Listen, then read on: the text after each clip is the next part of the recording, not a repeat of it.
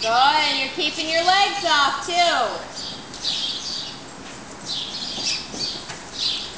Much better. And you know what? He's staying in his gait because you're not constantly telling him to canter and he gets to the point of shutting down.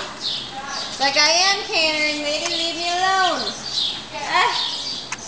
And then they just shut down and they stop working for you because they get frustrated. So with your legs off like this, you're rewarding him for doing it correctly.